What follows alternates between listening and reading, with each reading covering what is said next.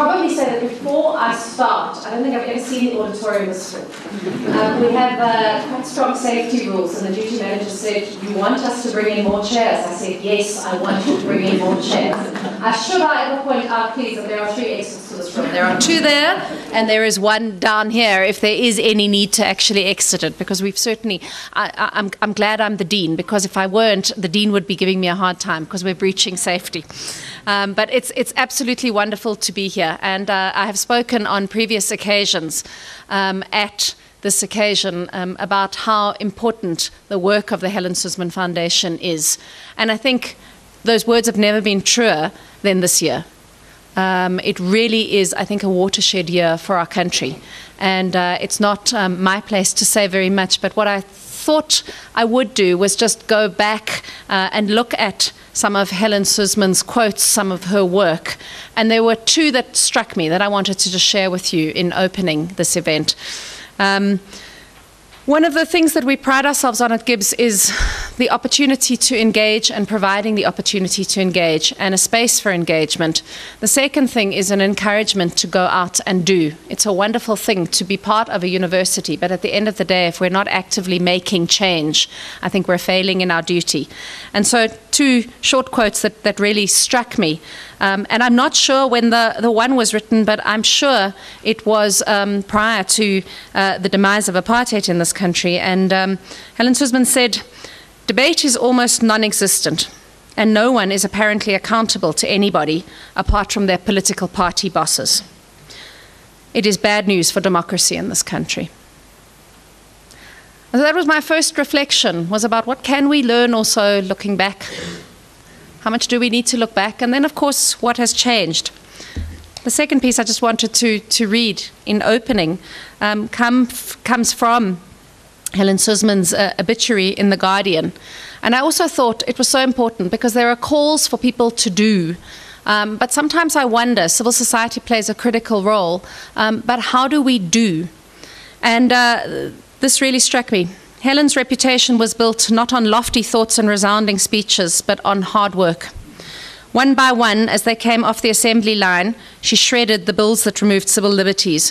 One by one, she tore her parliamentary colleagues apart for their callousness, ignorance, and ineptitude. Day after day, she would meet the poor, either in her office or more often in their own shacks, listening to their tales of sorrow and sadness, of hurt and hatred, and it really was the one by one that struck me. There's been magnificent work that has been done in this country, one by one, and we need to do even more magnificent work. It's an absolute privilege and a pleasure to be welcoming you. I thank Francis for the opportunity, all of the executors. Mr. Moseneke, what a wonderful honor it is to have you back here on campus. Welcome. Thank you.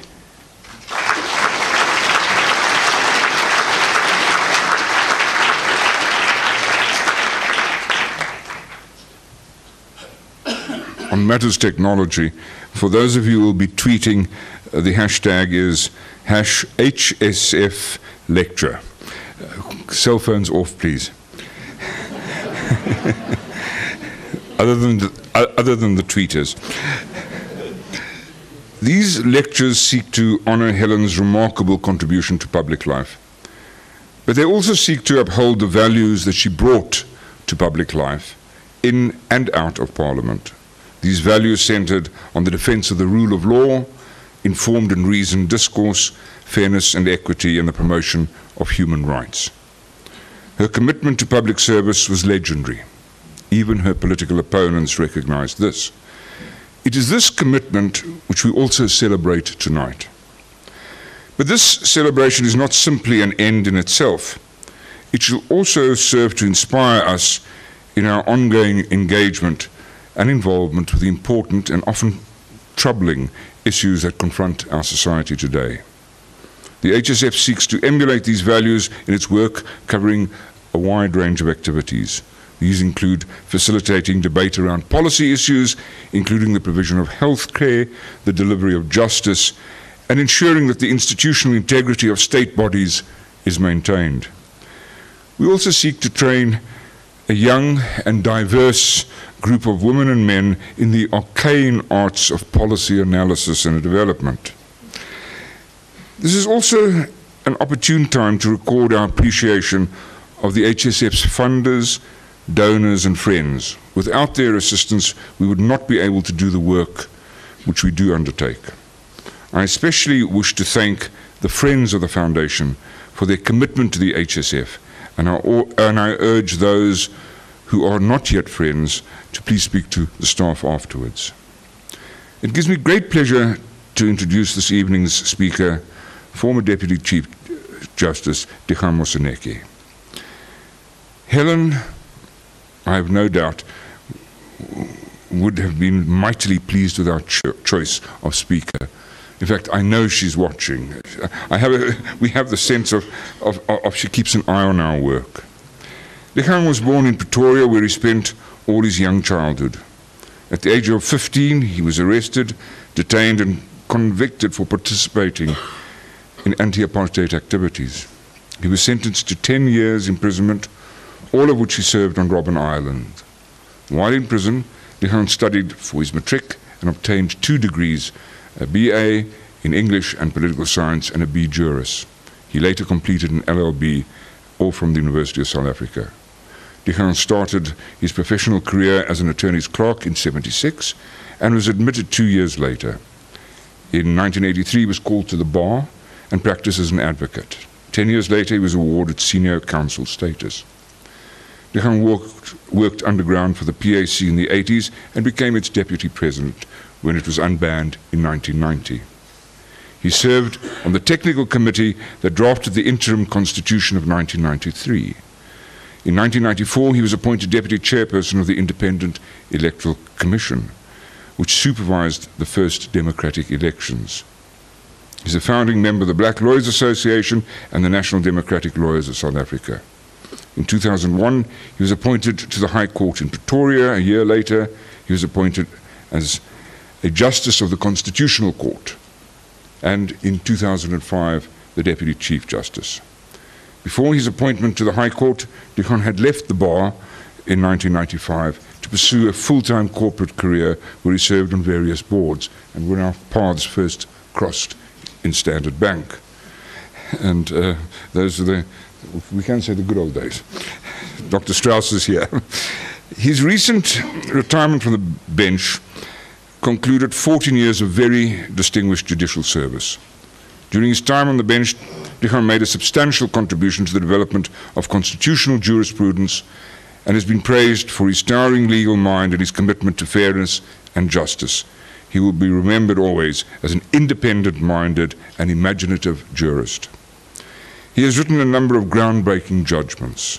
One of the most celebrated and the Helen Suzman Foundation here is, is biased because we were the amicus in this matter. Uh, one of the most celebrated judgments is Glenister, which he co authored with Justice Edwin Cameron, whom I also welcome at the back today. This judgment struck down the amendments to the National Prosecuting Authority Amendments Act and the South African Police Services Act on the basis that they failed to create an adequately independent anti corruption unit. The title of Justice Moseneke's lecture this evening is Shades of the Rule of Law and Social Justice. There will be an opportunity for members of the audience to ask questions, or questions, not statements, at the end of the lecture. Copies of Justice Moseneke's memoir, My Own Liberator, will also be on sale uh, after, after the lecture. Uh, Dikgang and I have come to an agreement that uh, any copies signed today will add an, have an extra.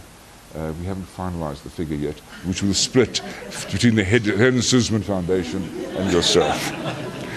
now, without further ado, it gives me great pleasure to, to welcome Dikgang Moseneke to the podium to deliver the 2016 Helen Suzman Memorial Lecture. Thank you, Dikgang.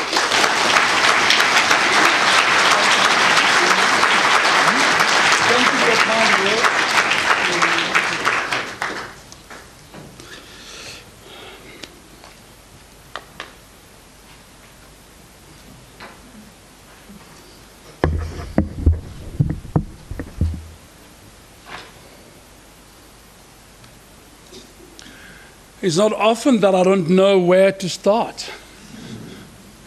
Um, a bit overwhelmed. I know so many of you who are here present. So, so many. And if I were to start, I would know where to stop. But I'm most grateful that you are here. Um, I have prepared a text. I'm going to be a disciplined former judge and stick to the text and hope that you'd have no questions at the end. but thank you ever so much for coming. Um, as you'll gather in a moment why, it is something I very much would want to do. I would have been pleaded with Francis to allow me to deliver this lecture someday, and mercifully I received the invitation. Um, and I'd like to thank my judicial brethren who made the time. Obut, Yuan, and Betty. I see you hiding, but I noticed you. But thanks for coming, Obut. Um, so to Edwin, I saw Baba and my good comrade and fellow prisoner Ahmed Kathrada. Um, and Barbara, thanks for coming. But I can go on. I've seen Gillian here, I've seen Conrad Strauss, I've, I've seen Hofmeyer there, I've seen, I've seen many of you. And believe you me, if I started, I could go on and on and on. But Selma, how wonderful to see you. Uh, um, I know Jules would have said somewhere there next to you, but thanks for coming, my love. I really appreciate it.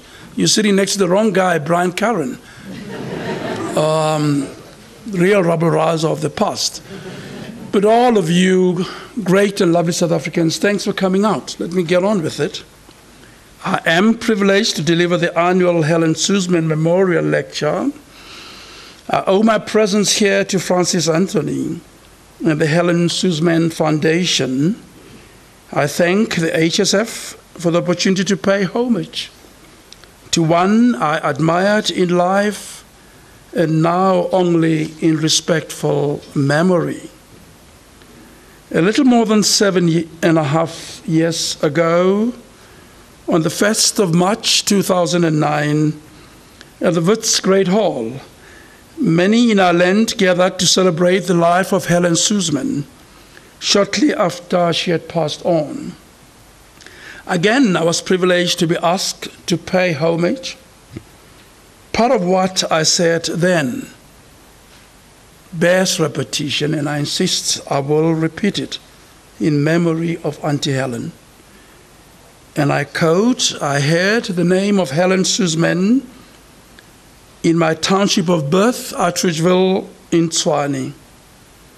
The adults, often in harsh tones, said she was different from them. They never said who them were. Then all liberation movements had been banned. Their leaders were in jail or in exile. I was only 15 of age, and yet I had just become a child soldier against apartheid and colonialism. As a teenager, I had already resolved, like many other youth of my time, that apartheid was a monster that we must brawl and destroy in our lifetime. The remarkable thing to us as fiery child activists was that Helen was a woman and the only member of her party in Parliament. And yet she often and openly, inside and outside of Parliament, said apartheid was a monster like us, she said, that must be destroyed. We shared the passion to destroy apartheid, and yet our worlds, I thought, were indeed miles apart. She did not seem to think so. Soon, members of our underground cells were arrested, charged, and convicted in a mass political trial before the Supreme Court held at the synagogue in Pretoria. Sentences imposed range from life imprisonment to five years. I end myself 10 years on Robben Island.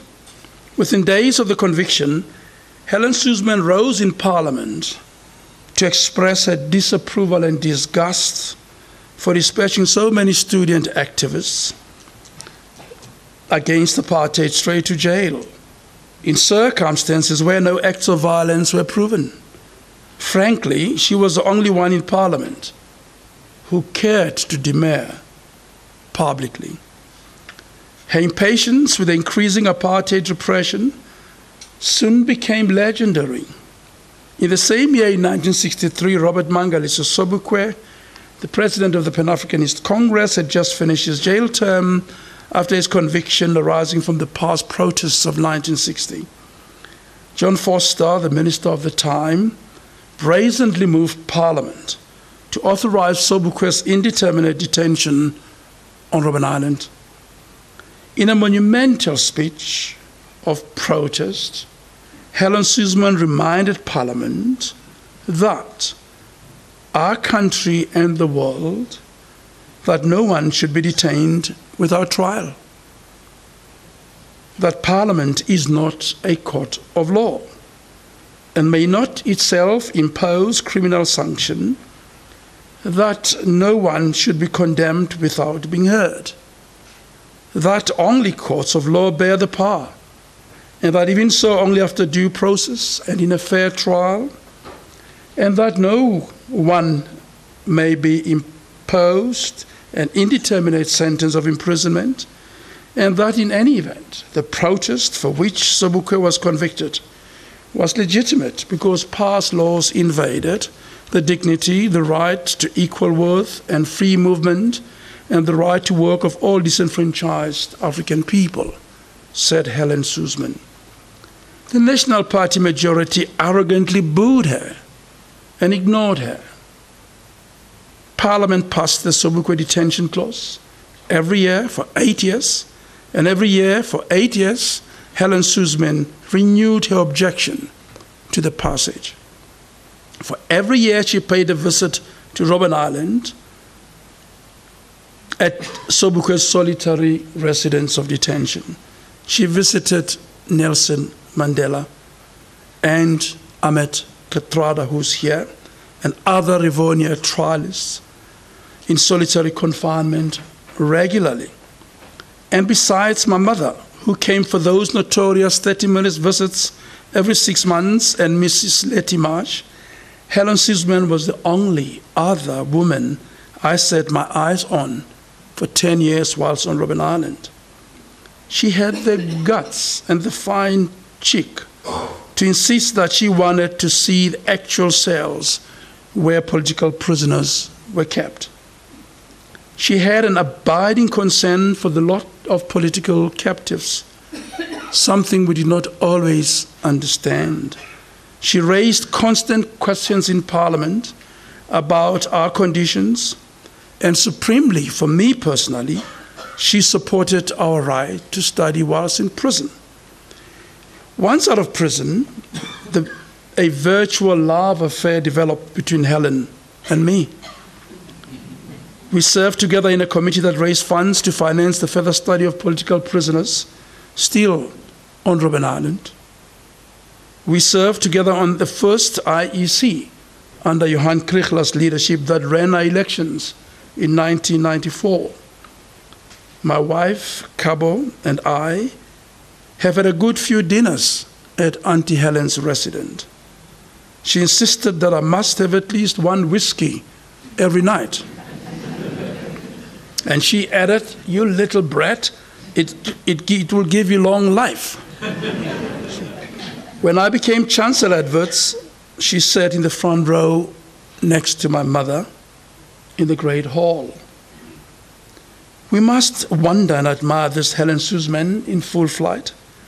She interceded for fellow citizens in distress for no immediate gain, but certainly moved by the highest tenets of human decency, which today forms the bedrock of our adorable Constitution close quote. That's a tribute I paid to Helen when she passed on. And that is Helen Suzman of my world. And I thought you'd want to know how I connect and so dearly love being here. Her life was filled with courage of principle and prompts me to ask the difficult questions about shades of the rule of law in our democracy. First, basic principles. What is the rule of law? I think it is the philosopher Thomas Hobbes who foreshadowed the need for the rule of law when he warned that life outside the social contract is nasty, brutish, and short. Interestingly, there is no universally agreed definition. Albert Venn Dicey, the British jurist and constitutional theorist, is often associated with the early formulation of the rule of law principle. He argued that the protection of basic rights was the purpose of the rule of law, and that government was required to act within the law. In his view, the rule of law embodied three concepts of supremacy of the law, equality of all citizens before the law, and the principle that rights of individuals must be established through court cases. These, ladies and gentlemen, given the time that they were said, were revolutionary thoughts in a world of monarchs and feudal lords. A distinction can be drawn between formal and substantive notions of the rule of law. A formal articulation of the rule of law translate to first the existence of rule-oriented legal system and second adherence to these rules. This approach emphasizes the existence of formalized norms rather than their purpose and substance. On this take, the threshold for good law is superficial and low. The rule must be law properly adopted. Rule will be law if properly adopted by a competent authority. And then the law must be made public or so called promulgated. It must be clear and understandable and must ordinarily regulate future conduct. On this notion of the rule of law, the substance of the law is immaterial. The fairness of the outcomes at the hand of the law is irrelevant. This shade of the rule of law is animated by legal positivism. Its adherents, uh, its adherents refuse to take the intellectual and practical responsibility for the outcomes of bad law, however unfair. This legal fundamentalism leads to the familiar escapism that, I quote, the law is the law, even if it is an ass. Well, plainly, the law should never be an ass. At a bare minimum, the law must be rational. Now, the apartheid legal system was a prime example of legal positivism that had gone wrong. A legal system that trampled on fundamental rights and freedoms, that was devoid of normative content, and that was unjust. And yet, its legal theorists still claimed it to be in accordance with the rule of law. Apartheid judges, too, escaped from their judicial consciences by claiming a duty to enforce even unjust laws. In effect, rule of law had been replaced with rule by law. The law authorized racism, inequality, indignity, and social and economic exclusion. And yet they thought it passed for law.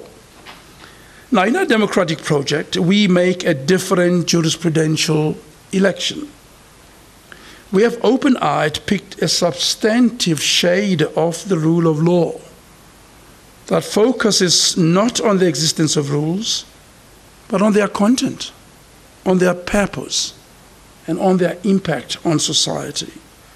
More explicitly, the content of the rule, the purpose for which it is harnessed, and the impact it has, direct or indirect, on inhabitants must not offend the normative scheme of our supreme law.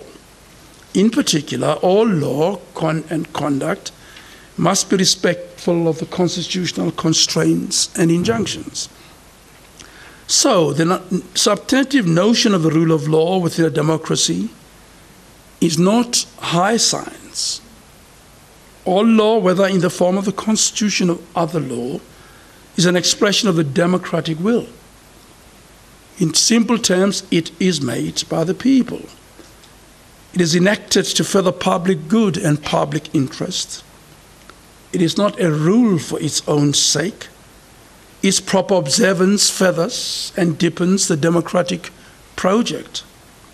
In turn, its violation diminishes all of us in some way. It undercut the promises that we have made to each other as inhabitants of this state through legislative and other measures. Now, the United Nations definition of the rule of law provides a ready example of this substantive approach. And those who have occasion to look at the paper, you can read.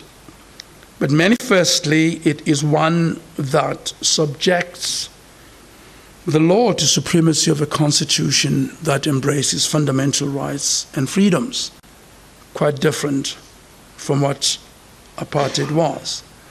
And this stance of the rule of law is mirrored not only in the constitutions of individual African states, but in the African Union protocols that apply across our continent.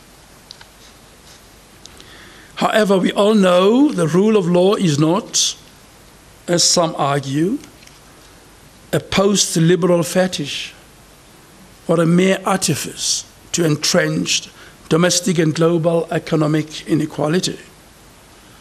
It is an entitlement of all citizens, and particularly of African citizens.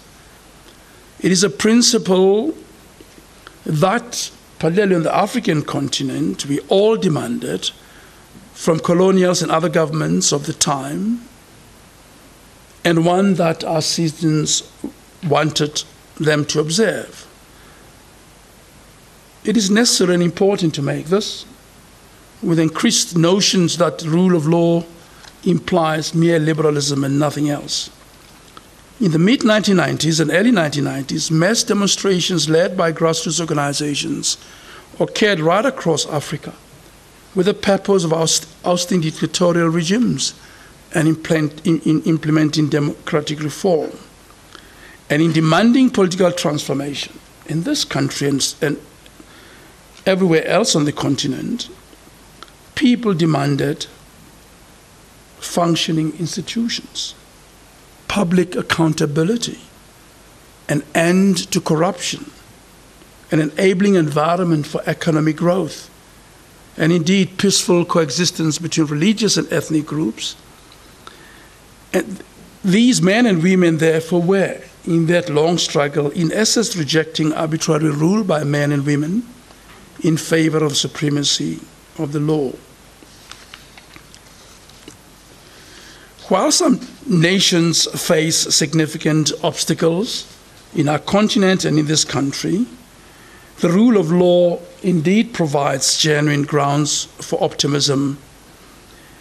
And the emergence, in particular, of democratic South Africa has inspired countless people in our continent and around the world our Constitution breathed new life into the rule of law by entrenching it as a founding value.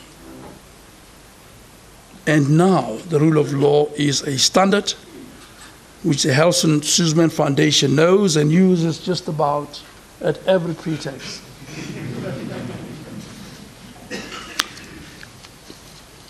But here is the rub.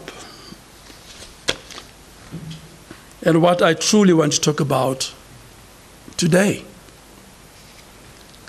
There is another shade of the rule of law that is inspired by the quest for social justice. And not merely liberal guarantees and protections. This version of the rule of law is looked at askance by lawyers and others who often cherry pick the benefits of the substantive version of the rule of law that our Constitution affords, but resist or choose to ignore the social justice promises of our Constitution. You see, in my view, social justice is a vital component of this shade of the rule of law I'm about to discuss. It is inspired by the genesis and scheme of our Constitution. Its starting point is that the Constitution is a post conflict pact. It was crafted on the ashes of the devastation of colonial rule and apartheid.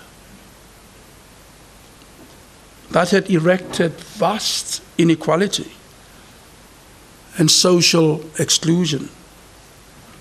At the start of the democratic project, in 1994, the newly enfranchised were poor, they were landless, they were unskilled, and without their own means of production. The ruling elite of apartheid had all that that I've just listed. And the plain design of our Constitution was not to perpetuate inequality, but to combat it. And in doing so, it also, in effect, required that we induct social reconstruction. In other words, ours is a transformative constitution. It's not a mere recordal of the protections we would like. Its mission was never to entrench social devastation of the past. It says in so many words in our preamble that we shall strive for social justice and that social justice is one of the primary objects of our Constitution. In its founding values, the Constitution requires us to strive for the achievement of equality. In the Equality Clause, it authorizes restitutionary measures. And the state is required to take legislative and other measures to grant progressive access to health, care, to housing, to education, to water, to social grants and other social goods that makes life tolerable. In short, the democratic project must entail a Marshall Plan on multiple fronts to push back the frontiers of racism, of poverty, of inequality, and of exclusion. But these core and essential claims of social justice do not engage the courts as much as they should. the outset, courts developed admirable jurisprudence on equality and on an assertion of socio-economic rights and on claims on restitution of land rights. Claims of this sorts in the courts have nearly died down. And I'm not suggesting that struggles for social claims belong only to the courts. What I am suggesting is that courts tend to give one a peep into the kind of societal strives that are likely to be prevalent. So, outside the familial disputes, criminal justice, and commercial contestations, lawfare has assumed the form mainly of political contestation and indeed intra party rivalry. Even public interest litigation groups appear to have shifted their focus on misgovernance rather than on issues of social distance, of economic growth, unemployment, and resultant inequality. Plainly, courts have become sites of resolving disputes on political power and rivalry, absent other credible sites of mediating political strife in our land. A properly functioning democracy should ordinarily eschew lumbering its courts with so much that properly belong to other democratic sites, or even to the streets in the form of peaceful protests. We will, over time, I dare to warn, over politicize the courts and thereby tarnish their standing and effectiveness in the long term. That is true also of manifold and costly commissions of inquiry instituted by government and headed by judges, only to give respite to dithering political and state functionaries. Perhaps we should again, as we did at the advent of democracy, engage courts and other institutions of democracy on issues of social justice because they're important and because our Constitution tells us so. We must revert to engaging the rule of law for social advancement. We must find courses that are likely to alter the social fabric of those who will never afford to step into any court. Even more pressing, I think our country needs increased social mobilization. Social movements are already doing good work, and I can single out many that come to mind. But I think much more grassroots mobilization is warranted on carefully selected social struggles close to vulnerable communities. Issues on land equity remain alive and well and vibrant. Homelessness is here with us. Access to health care remains a cutting issue.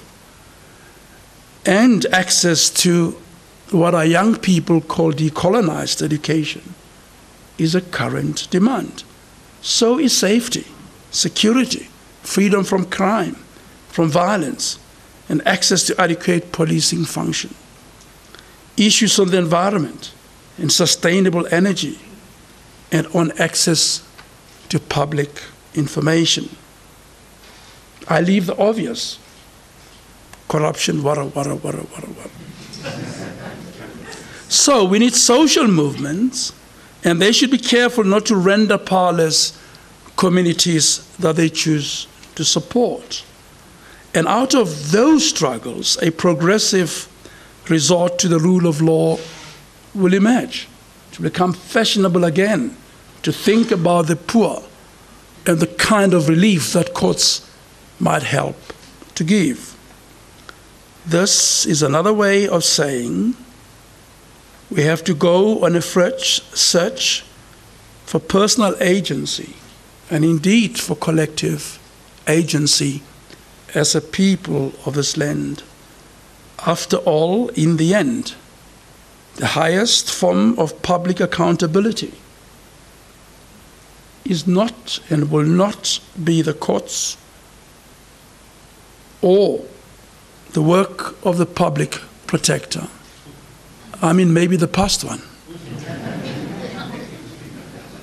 or the excellent work of the Auditor General, 45.8 billion rand. But it is electoral accountability, which would be useful only when communities understand and embrace what is truly in their interest. Thank you for listening. Good night and God bless.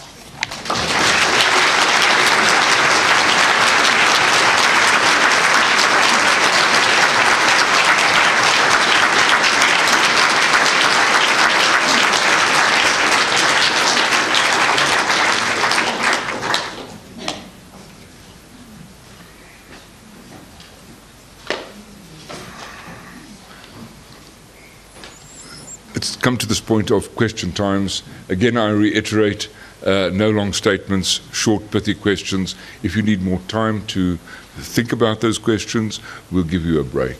But on behalf of you all, I would like to thank Johan for, again, an inspiring oration, reminding us uh, that we mustn't only do litigation. So I. uh, uh, but, but we are doing other things as well. uh, any questions? Please, when you are uh, when you're identified and you're about to speak, give your your name uh, for the record. At the back.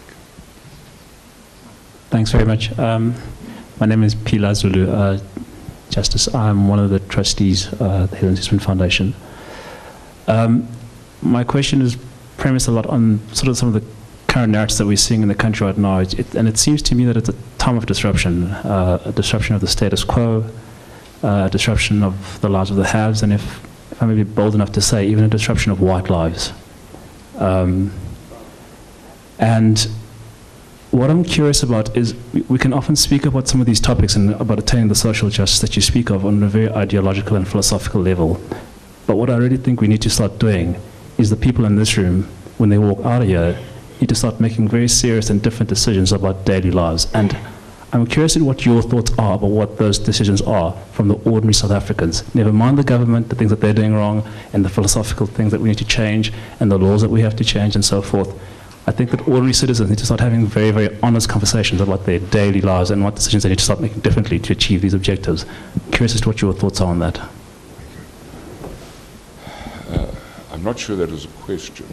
Uh, but as that's one of my bosses, I'd better behave. Uh, questions, please? Any further question at the back?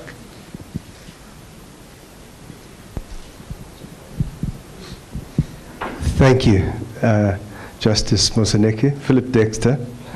Um, my question is really premised on what we're seeing in our country at the moment poverty, inequality, unemployment, all of these things are no better than they were 23 years ago, in some cases worse.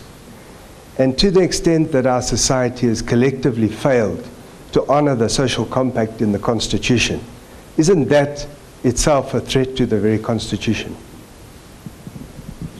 Okay. One more question. If you can do uh, pose, raise, yes, sir, on the in the aisle in the.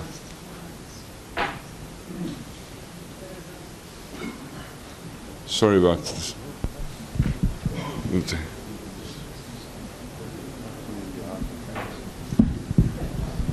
Thank you. Uh, Mabasa, that's my name. Um, uh, Judge, thank you very much for, for the book. I, I loved reading it, and it's, a, it's an excellent book. Um, I have a lot of questions, uh, as a young person, I must because I'm young. Um, if you can indulge me on answering this, right? Because I'm not sure which one I should ask first. um, you spoke about in the book. You spoke about um, when you were drafting the constitution, the interim constitution, and you spoke about you know compromises that were made on the land uh, question, right? Um, my my question is, um, since you spoke about you know the apartheid constitution and, and, and, and you know the transformative constitution, I, I remember a quote by Martin Luther King when he says, "We have a moral obligation." to obey just laws, and we have a moral obligation to disobey just laws, just like um, liberators disobeyed uh, the unjust laws of apartheid. Um, since most people might think, might view that because there is no justice in the compromises that were made about land, the constitution in itself of today is unjust because it does not give justice to those who were disenfranchised. Is it then not uh, reasonable and logical to say that the Constitution in itself is entirely, maybe not entirely, in part unjust. Thank you. Thank you. Okay, we'll stop there now.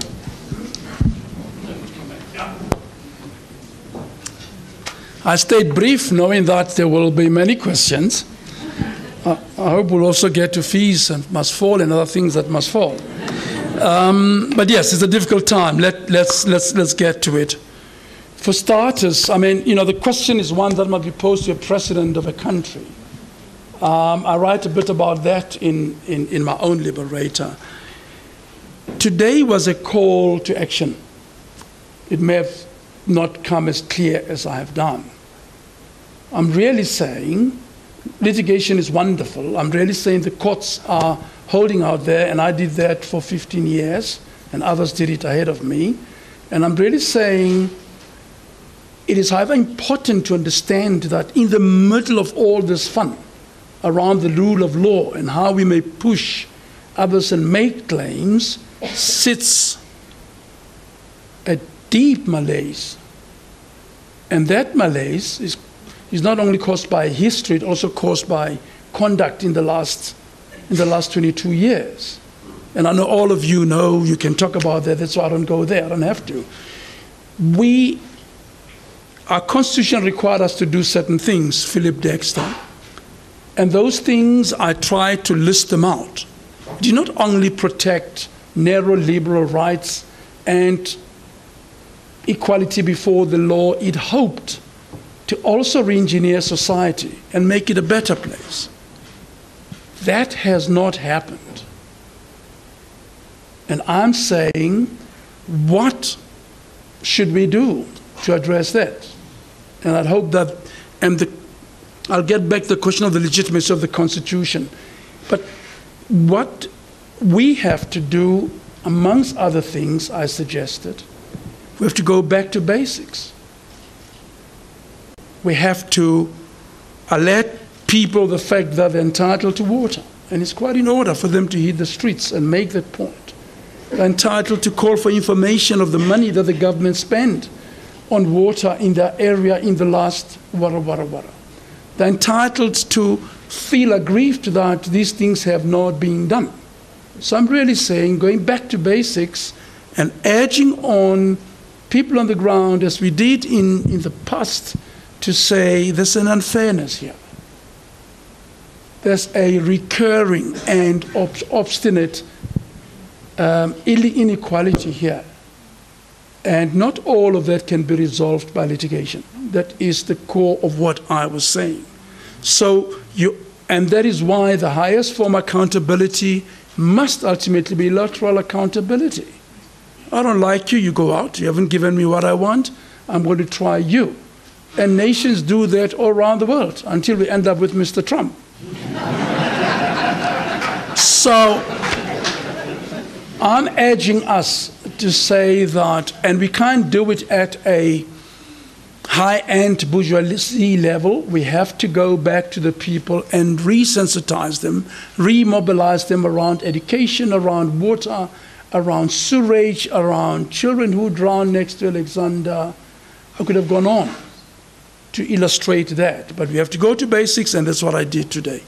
Philip Dexter and the question that you asked a moment ago has implications about an illegitimate constitution.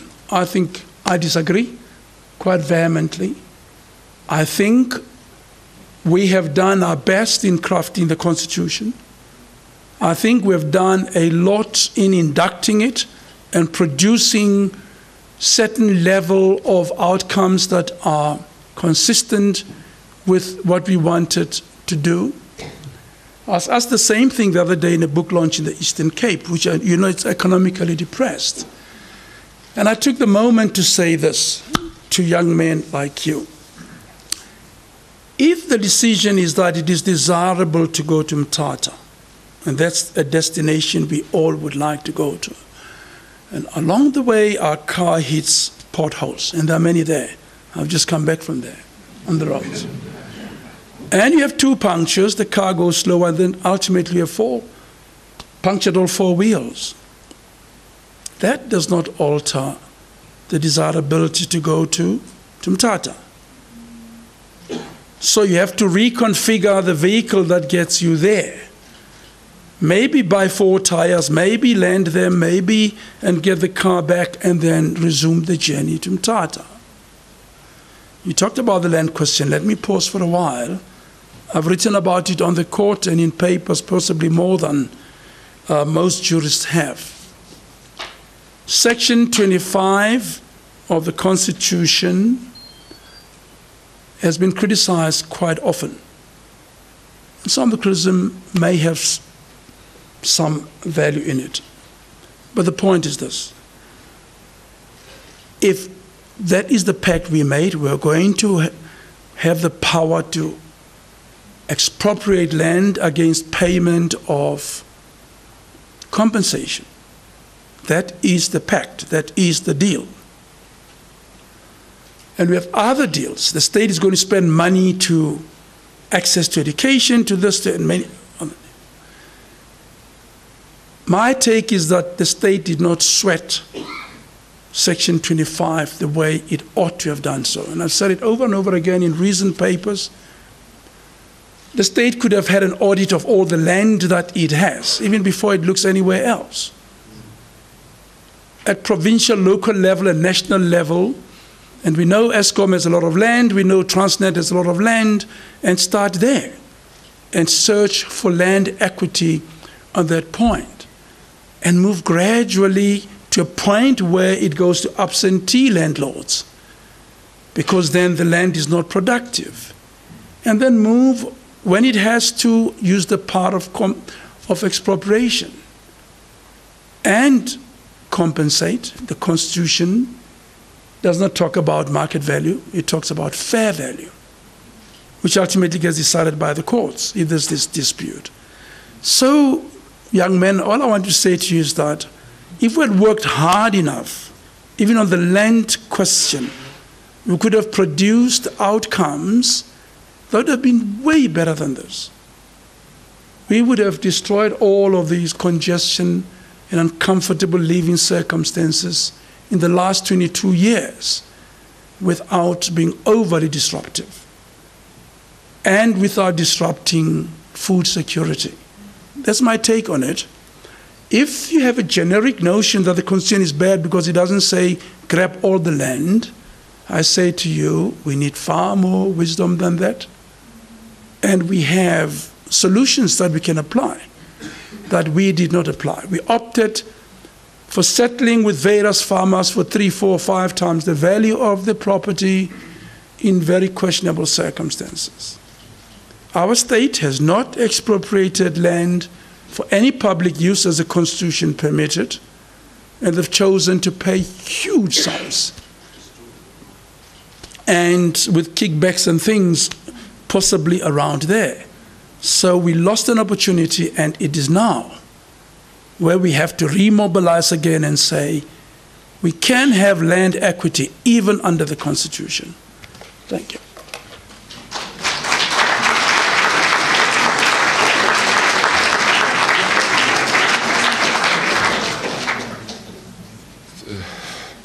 Uh, it's the next generation. Mr. Leon Louw, is it? Uh, and we'll take two more questions after that. Thank you, Justice. Uh, uh, one of the things you never mentioned on the rule of law that, in, that interested me is the separation of powers question. And it is, has been ruled by your court to be a justiciable requirement of our Constitution.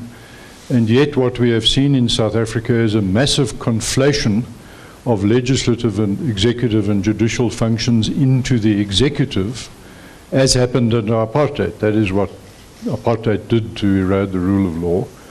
And I just want to mention one concrete example and ask you for your take on it and, and how you, uh, why the separation of powers is, seems to have slipped away from our mindset on the rule of law.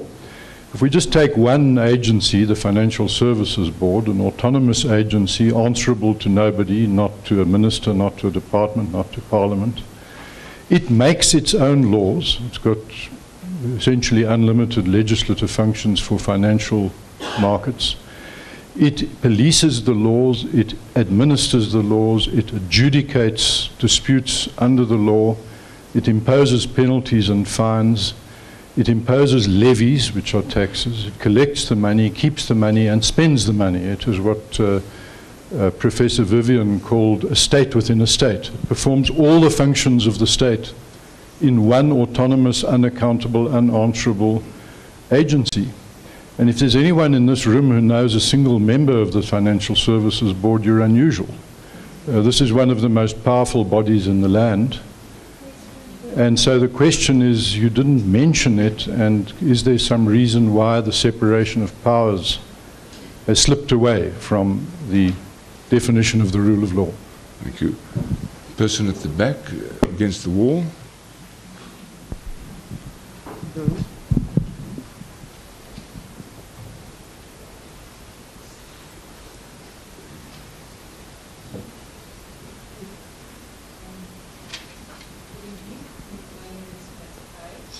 I don't think it's on. Sorry, um, good evening. My name is Patikai and um, I'm working in the social entrepreneur space. And my question is around um, how would you pose or how would you cite um, South Africa's stance to pull out of the ICC? Um, in light of social justice. Thank you. Thank you very much. Now, that is a model question. Thank you. Uh, now that we've had the, the, the, the, benchmark set, we, I'll take one more model question. Hello. Um, It's getting too long already. um, given what, given that many people would say that the land question is deeply symbolic of a huge sense in which there hasn't been a redressing of inequality, how appropriate is it that the NPA has chosen to pursue charges against Julius Malema for, on their version, inciting Okay. people to occupy land? Thank you. Sorry. I, I'm not going to allow the judges, though, just as a caution, or retired judges, to, to give free legal advice. So uh, I'll protect the judges. Uh, Dion, would you like to take?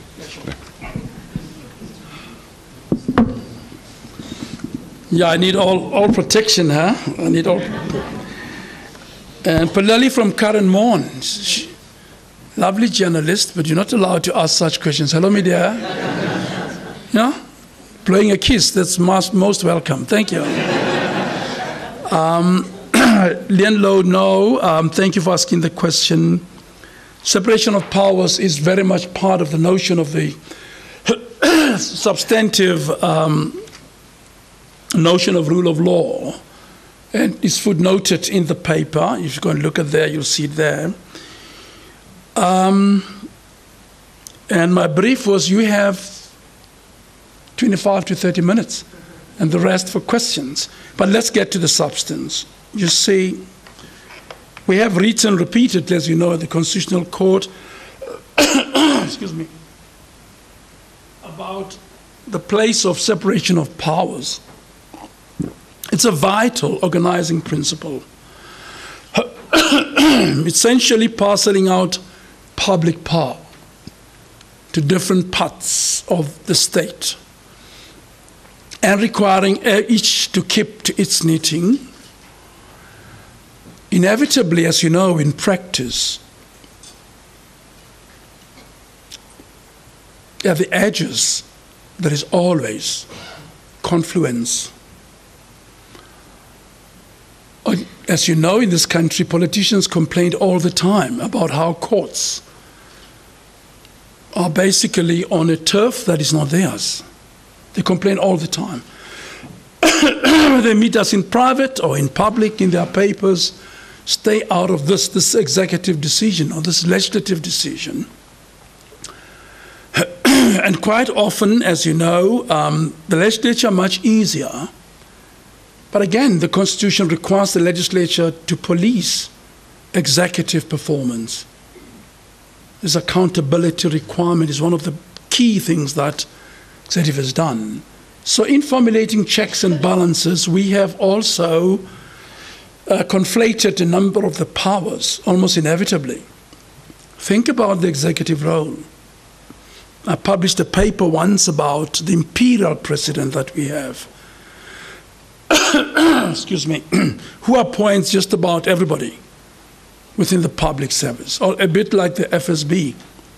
But so whilst there's been the constitution has been hard at work to try and demarcate the lines and you look at the structure of the constitution we actually have chapters that are very separate you don't find in other constitutions but in ours actually there's an attempt to say chapter 7 will deal with judicial function um, chapter 5 with executive function chapter 4 with legislative function but that is quite quite vital sometimes courts, and we have done that, we've said the public interest compels us to decide this matter.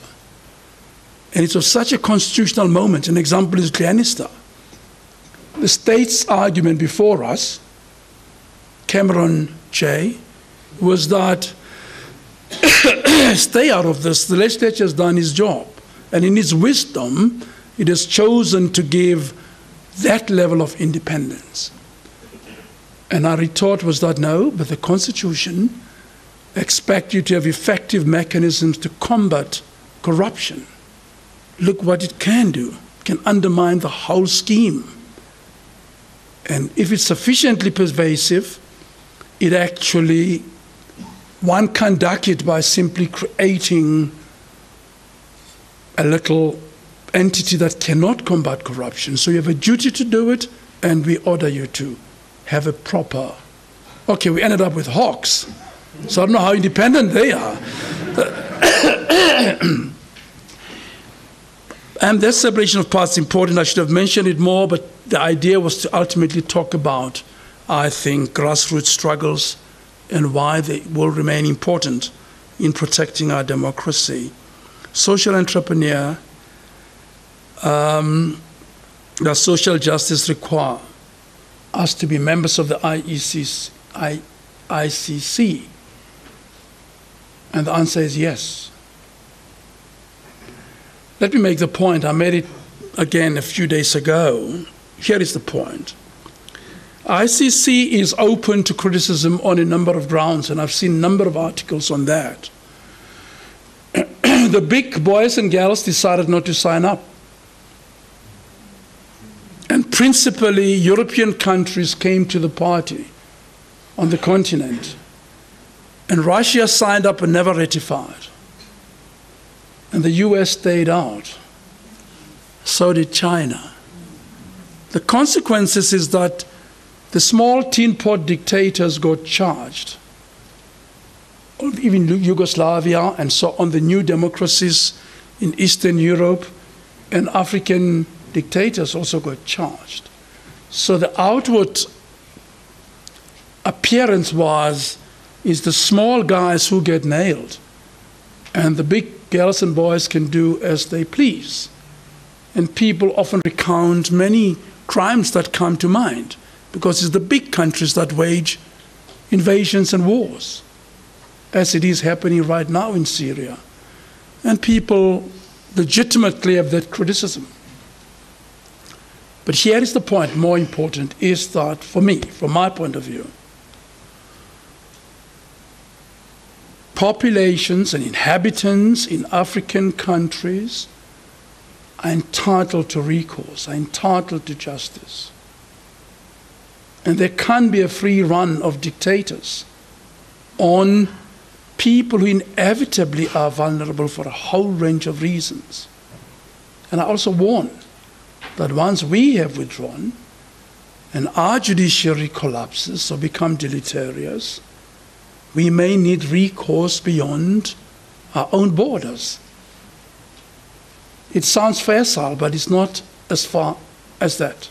Things change quite often in politics. So we need optimal protection for vulnerable citizens, particularly in countries where the rule of law that I talked about today is dithering or is fickle or faltering.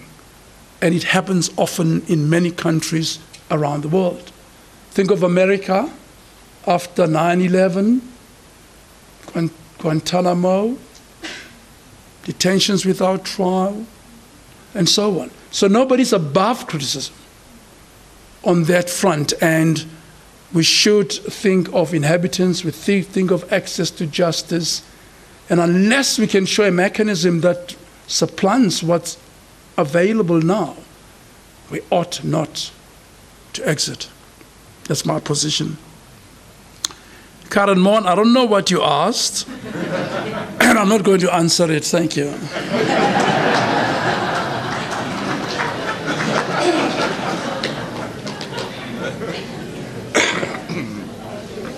Uh, I'd like to suggest, uh, time is, uh, is passing, perhaps a last round of questions. One, identify yourselves. Two, three. Uh, come.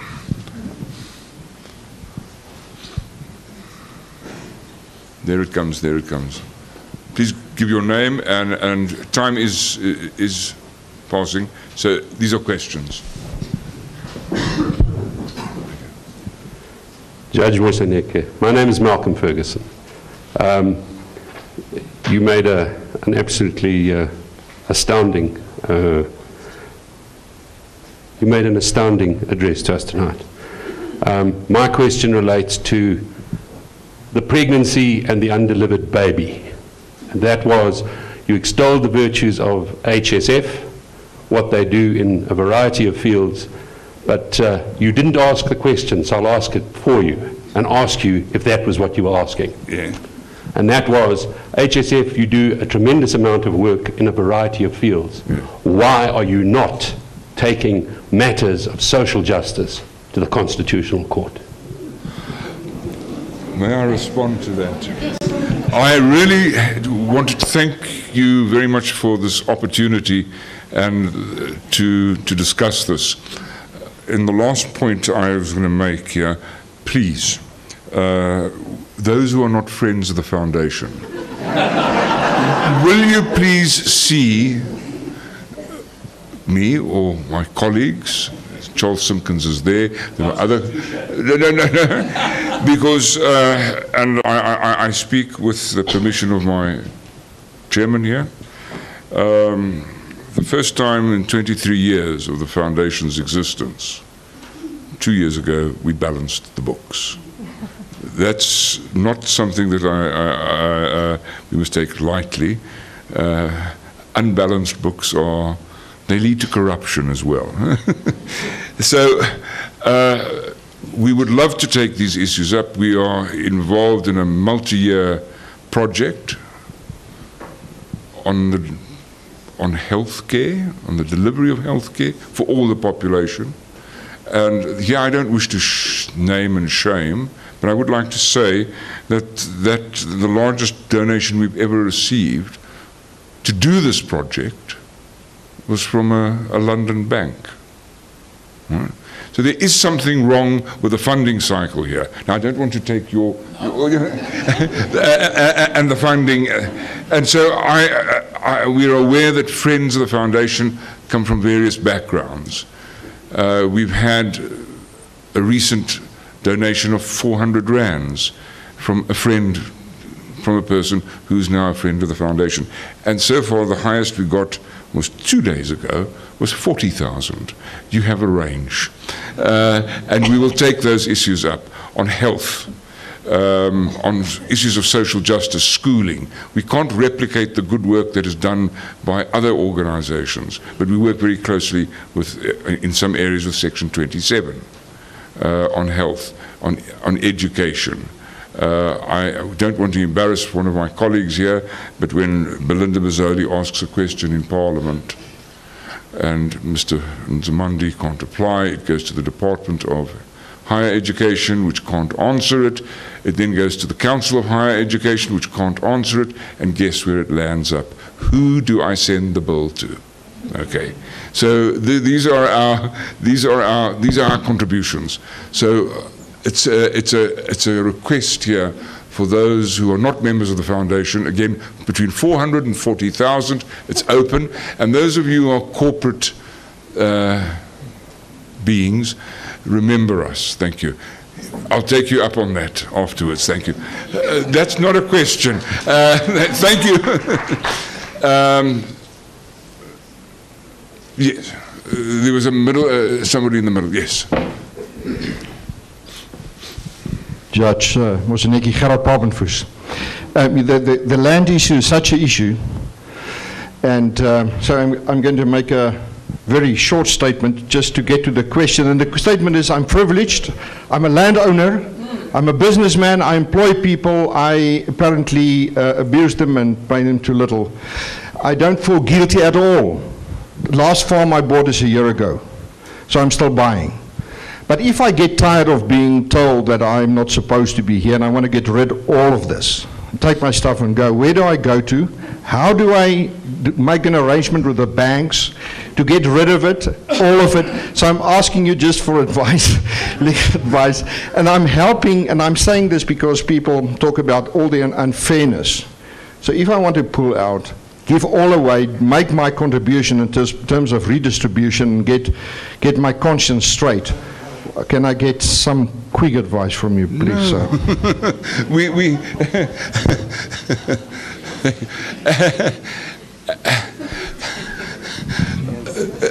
I think the, the, the, there was once a, a, an exam question set in, in, in the, it was the moral philosophy paper in Oxford. You were given an hour to just deal with this one question. And the question was the following Is this a question? okay? The person who got the distinctions replied, uh, if it is, then this is an answer. Okay?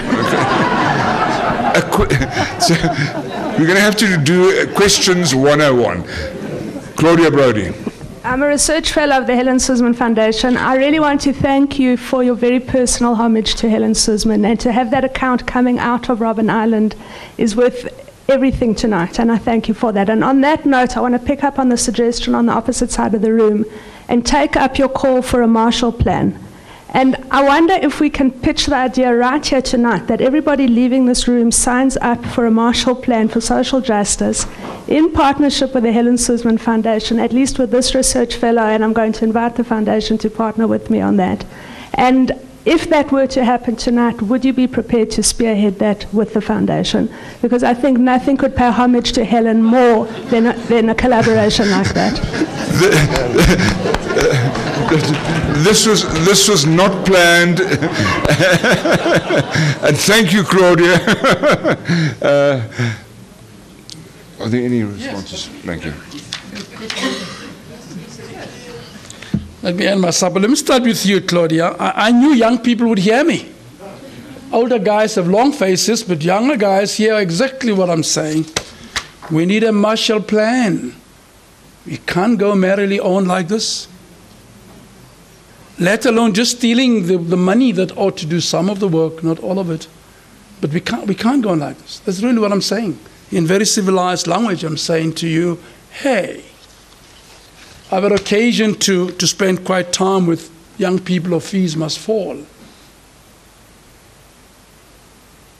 Apartheid was bad, the numbers, I've looked at the numbers and I wrote a paper recently at UNISA which shows the disparity between skills between white and black South Africans. What I said there, it footnoted properly, I can demonstrate to you how much more skills white South Africans had and how little. And Stats SA extrapolated these numbers, and I heard Pali Lehohla yesterday again say it. It is fact. It is fact, Gerard, that most of the land that is good in this country is owned by white South Africans. It's a historical fact, and it's unjust It can't be fair. So we have to do something about it. And we can't stand back there and say, sorry, I have the land, sorry, tough luck, girls and boys. You know why? They're going to revolt ultimately.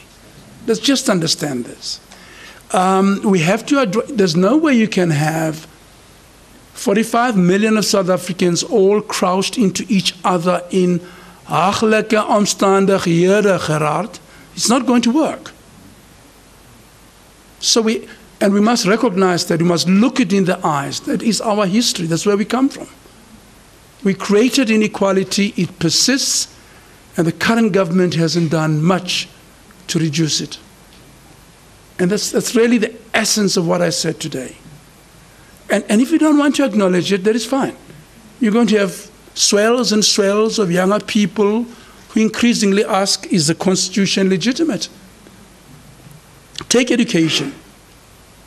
The Statistician General told us yesterday that if you look at the expenditure of government, it has been retreating over the years.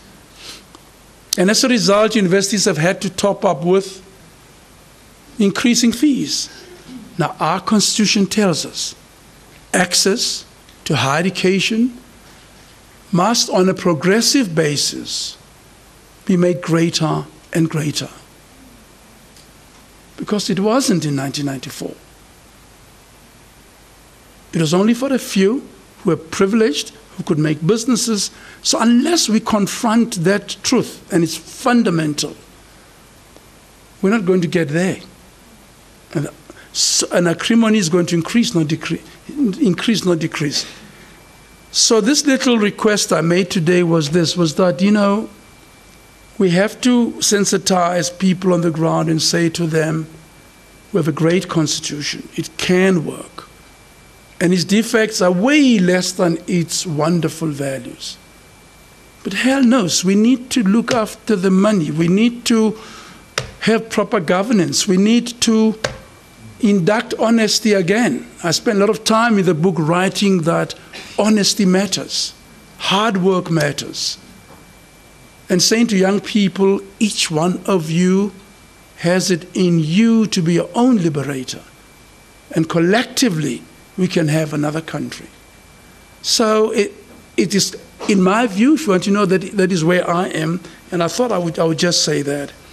We need a Marshall Plan. We need to think through how do we make education, quality education, accessible to more of us. And that's not an idle requirement, it's something so central. We need, of mayor, we need a good NDPP who's straight down the line, who's honest, who's hardworking, who, who cares about our country and where it's going to end up.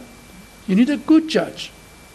And I tried to be in the time that I was there. Edwin, you and others tried to be. But we need those things urgently. So I wasn't coming here to poo poo everything that you are doing. It's important. But we have pressing issues and we must understand where they sit. A lot of young people, deeply impatient, and I've been fed with their diet the last three, four weeks, they think all the transition was a mirage. They think we sold out. They think the journey is no longer, going to Mthatha is no longer exciting. And they think perhaps it's time to break up everything. So, those of us who are patriots and who deeply care and who think we've achieved a lot. Our transition was a near miracle. I still am on the same view. We have to make all of us understand that curbing miscreants in governance, in corruption, in other things is important. But equally important is refocusing the nation onto the social devastation and what steps we ought to take urgently to reverse that, because we have failed to do that in the last 22 years. But thank you for listening. That was, in essence, my message, and I, I hope it finds a place somewhere. And the Marshall Plan, young lady, what's your name? Um, Claudia. Uh, we can talk about that sometime. Thank you ever so much.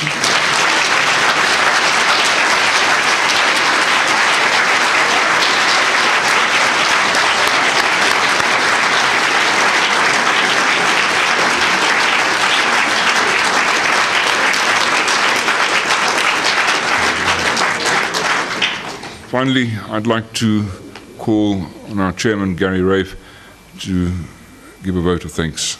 Gary, thanks. Thank you, Francis. Uh, after that round of applause, I face the difficult job of leading you in another round of applause, and I hope I can do that.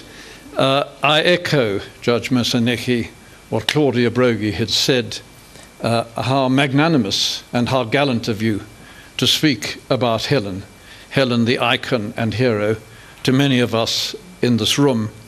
I take issue only with one thing. You said that after you came out of Robben Island, you and Helen fell in love with each other. I thought that I and Helen had fallen in love with each other. but I will admit that you're younger and better looking than me. And, and after you, you came out of Robben Island, and I certainly didn't. Uh, so there we are. Uh, I also remember with great uh, fondness your talk in the Great Hall, and I think you called her indeed Our Lady of the Prisoners. Uh, so we remember her very much uh, for that. You're a modest person because you've spoken very little about yourself, and I've yet to read your book, but what little I have read, I have the haunting thought, the haunting picture in my mind of your father in tears when you were 15 years old, pleading with the court not to send his boy down. Sent down you were for 10 years, and instead of brooding about it, you decided that you would liberate yourself. And I did pick up some words uh, on the website, and I just quote them because uh, they are such a wonderful leitmotif. I chose to become a lawyer of remarkable excellence, of unfailing integrity, and of commitment to the broader struggle of our people for a just and equal society.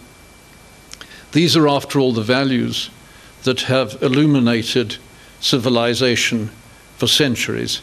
And I just recall the book of Micah that says, The Lord requires that you seek justice, act mercifully, and walk humbly with God. And I think that so much epitomizes your life, Justice. Uh, yes, sir, you've given a great challenge to the Helen Suzman Foundation, and uh, we had a four hour talk four hour board meeting today, so I don't know how many more hours we shall have to meet to see how we take up the challenge of what do we do about social justice. But certainly, it's a very important challenge that you give to us. I think the other thought that I just want to make you speak also about electoral, electoral accountability. You will know, as I do, that Helen was absolutely incandescent that uh, we had a system we've moved to an electoral system that did not favour a parliament that would act independently, and uh, that, uh, of course, it's democratic proportional representation, but has it led to electoral accountability on the part of our parliamentarians? Helen knew right from the start that it would not do. And so, one of the projects that the Helen Suzman Foundation also has is again to pick up perhaps where Zyl left off and others, is to see how we can try and persuade uh, those, the authorities, everybody in this country, the importance of electoral accountability and how electors in their different constituencies can actually have somebody who is accountable to them. Uh, Judge Moseneke, you've given us an inspiring talk, and therefore I would like to lead another round of applause to you.